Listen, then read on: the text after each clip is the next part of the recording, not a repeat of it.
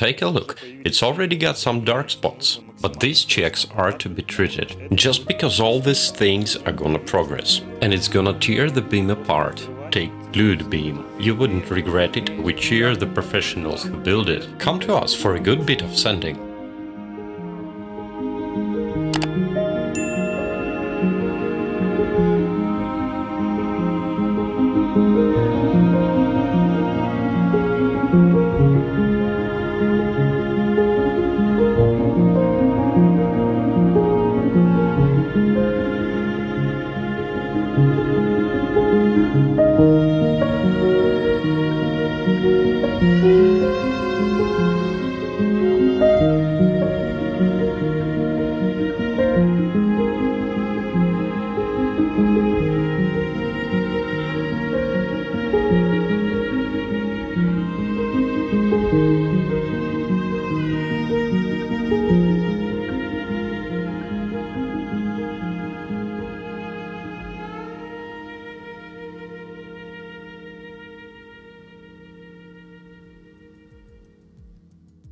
Hi everyone, we're starting the painting season. We have a glued beam house. We will film a complete review of the house and the difficulties that can come up. We will film the whole interior preparation process and we'll make a review on how to do it right. We will explain why it is so important to get the glued beam house painted from the exterior. Despite its being a pretty dry material, we'll show you the treatment of the end faces. Let's get inside and I'll show you everything.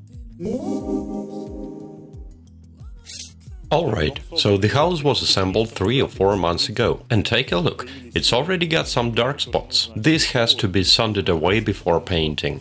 It's dry, but it's not protected. Sun and wet gets on it, so it has to be painted as soon as possible, just because all these things are gonna progress.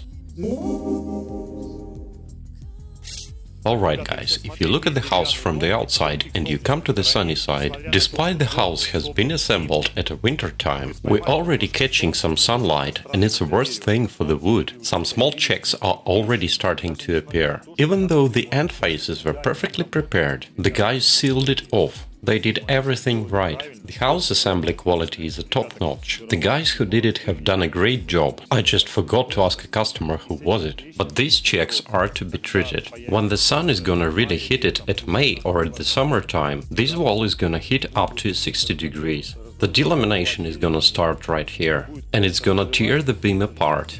This is to be taken care of. Let's get to the north side and you will see that the end faces are in a perfect condition there. If we look at the end faces from the north side, it is completely sealed and they are in a great condition. They won't have checks on it. The problem is the sun.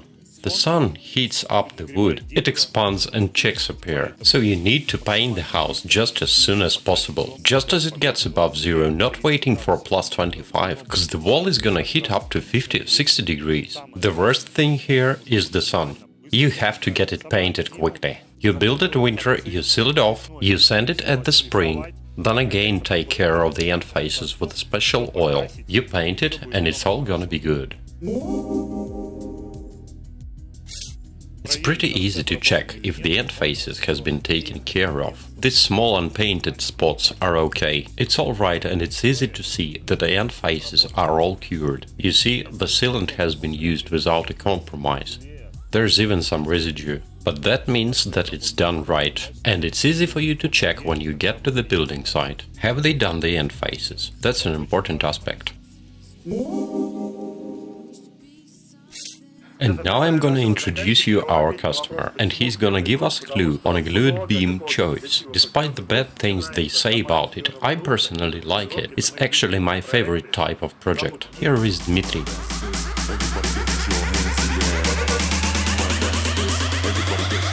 Hands in the air. Tell us, why is it a glued beam? Well, first we wanted a wooden house, but we want it to be flat, without cylinder log shape. We also want to avoid checks, so not many options left. We also looked at a profiled beam, but everyone doing a woodwork said no profile, take glued beam. You wouldn't regret it, it's very durable. I don't know why many people don't like it. We do. At least this house stood at a winter time. It wasn't that cold. frankly speaking, around 7 degrees, and without or with very low heating it easily was 11 degrees inside, and it was basically opened up for all the winds. How do you call this thing? The contour. That's right, we can see it from here. That was enough for it to be warm. Also, aesthetically, it looks very nice. It's very good looking, also when you get inside, especially the parts that already has been sanded. It's very beautiful and nice to touch, like a baby. So guys, we cheer the professionals who build it. We have a warm foundation and a warm house, and that feels very nice to work on it. And also, the guys who built this house, they did a great job of assembly. I decided that it's necessary to give a credit, free of charge, to the guys who do the right things. It's a Lescom company. Good job, Lescom guys, you nailed it.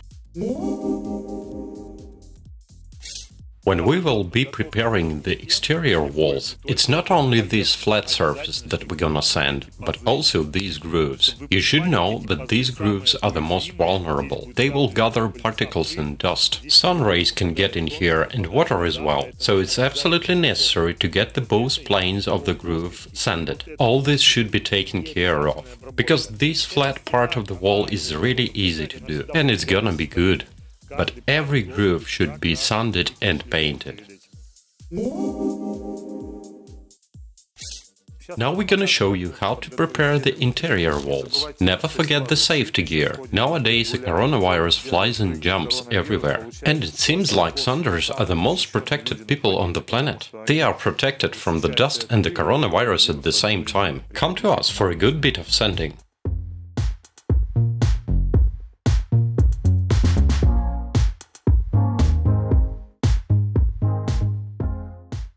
You should understand that whatever type of wooden house you have, it needs sanding. The walls should be prepared. The wood gets compressed under the cutter of the machine. Any type of wood, and for the product to stick to it, it has to be sanded. And here is one another thing to note. It stood for a half of a year and got yellowish. We left that spots on purpose, for you to see how yellow it gets. If you paint it, the color will mix in. So anyway, these yellow spots are to be sanded off, and only then we can paint it and get the exact color a customer wants. Guys, we use a grid size of 120. From all the discs we've used, 3M is definitely the best. We'll show you how it works. Note that you have to sand it completely with no spots left at all. Get that yellow spots removed. You will see I do it a bad way first. There will be spots left, but then I will start over doing it right. Because pretty often lack of experience leads to not sanding it off completely.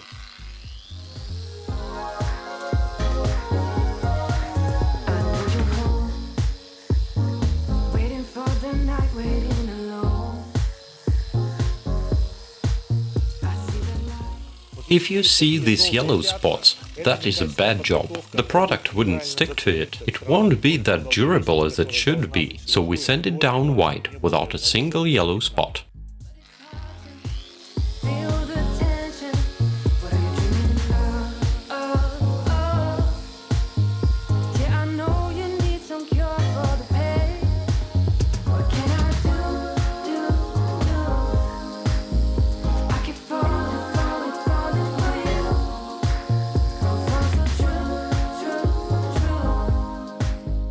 If the crew had arrived on the building site without this machine, they are not going to sand the grooves. This is a very important instrument. You can't do without it. We will show you how to do it.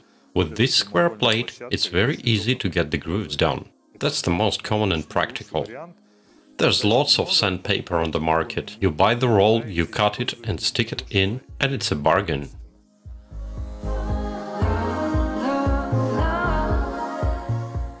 Okay, you have sanded the walls, you have sanded the flat surface, you have sanded the grooves, you also sanded the end faces. They should be as smooth as the wall. And only then you are getting ready for the paint job. The whole house should be sanded completely before the cleanup. You can start with a vacuum, but never forget that the compressor is a very important tool on a building site. It blows the dust from all the cavities, and it does it nice and easy. You blow everything out, and then you vacuum it again. And only then the wall is ready to get painted. And about technical details. Here is the video of us sanding the rounded log house, and we have mentioned the right way of sanding around the switches and plugs there. Take a look at it again, just to remind you a technical detail. It's covered and the frame is off, it's sanded, then painted, then the frame is put on and the cover removed. That's an excellent job. It will never get dirty, that's how it should be. That's production culture, that's important.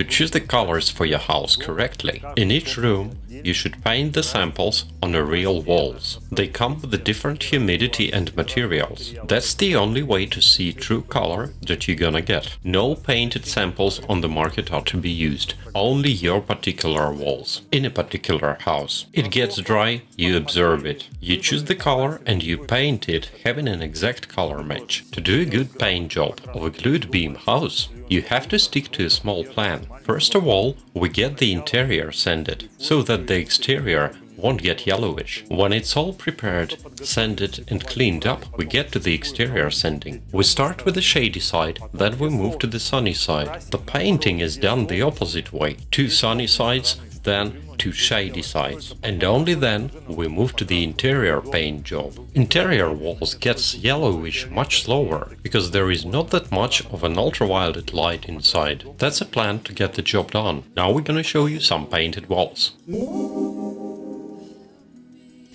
Here is an example of the walls with a complete paint job done. It's absolutely necessary that we took off the radiators, sanded and painted behind it.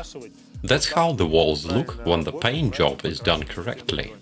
So in the bath we have the walls painted, the bath is ready for the finishing, and we are moving on to it. Gonna do the steam room, then the shower room, the ceilings as well. Subscribe to the channel, we are going to film a complete review of this house in particular, as well as all the other houses, from a glued beam, from the rounded logs, from a profiled beam. You're gonna see all that here on our channel during this season.